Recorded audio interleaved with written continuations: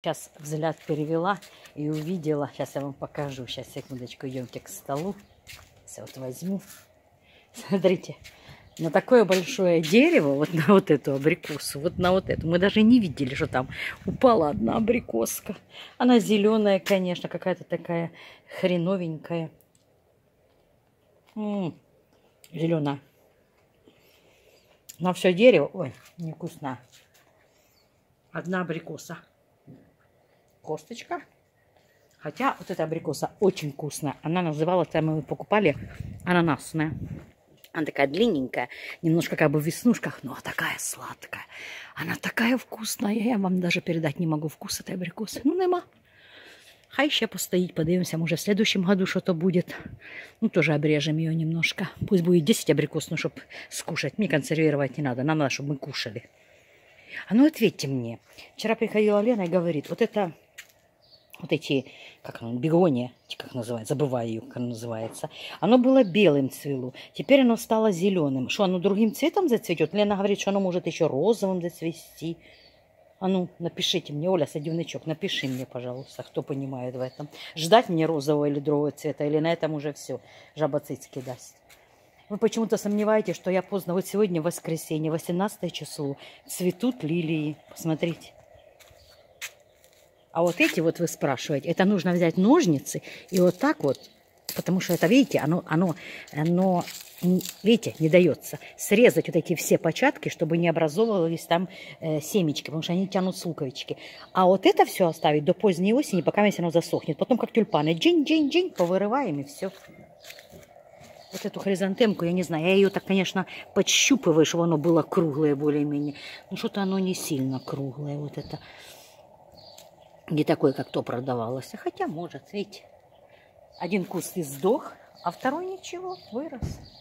Так что я сейчас вот возьму ножницы заодно и посрезаю вот эти все лилии. И такие, и плохие, и хорошие. Ну, плохих нету, просто есть э, трубчатые, а есть такие. Обязательно.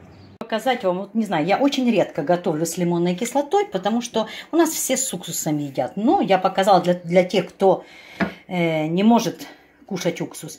Вот лимонная кислота, которую я отправляла наверх э, соли и сахара, перемешивая, смотрите, что получилось в сотейнике. И оно, вот, оно не отдирается. После первой партии точно такое было. Не знаю, из чего оно сделано. Может, это из-за из этого сотейника, что металл такой, реакция какая-то. Ну, вы видели, что маринад был прозрачный. Это так, информация, вот, как говорится, к размышлению. Смотрите, закрывала огурцы и использовала лимонную кислоту.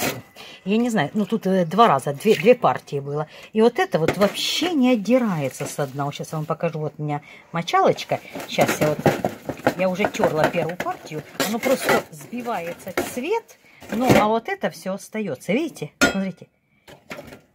Я сейчас вот попробую тут фабрем, который я выписала, попробую. Вот это вот для такого металла, для таких вот сотейников должно подходить. Видите, все один к одному. Сейчас испытаем. Так, вот этот крем. Сейчас я немножечко так выдавлю его. Вот так. И попробую сделать. Почистить. Все честно. Просто у меня одна рука не, не, не брала штатив. Сейчас начну чистить и вам покажу, очистит или нет. Так, я по-честному потерла, ребят, как обыкновенной губкой, как этой. Но зато это вымыла. Извините, у нас шумно Саша пилит, вы видели. Вымыла вот эту вот, как она называется, э, вытяжку вообще. Смотри, как палец легко ходит. Нигде ни грамулечки жира нету. Просто сказочно. Смотри, как, как тряпка легко ходит. Видите, смотри, нигде не цепляется. То есть вымыла все отлично, просто отлично. Ну, а кастрюльку сейчас посмотрим. Не спрячься нигде от этого. Работает.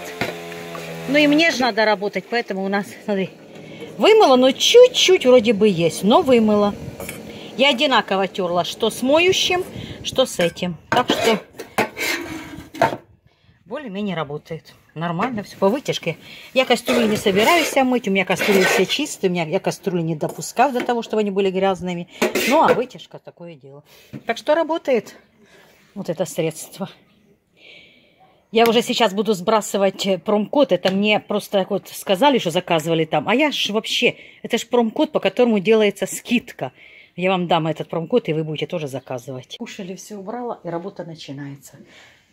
Залила печку и залила духовку, то есть тем средством Фаберлик, который пришел. Сейчас буду проверять, как оно моет. Вот этим вот. Все писали, что очень вообще духовка и плит вообще, говорят, шикарная. Посмотрим. Вот плитку. Не, я не заливала, просто чуть-чуть и мочалочкой так размазала. Мама каже, я нічого не готова. Кажу, так я уїжджала, вона була іспачкана.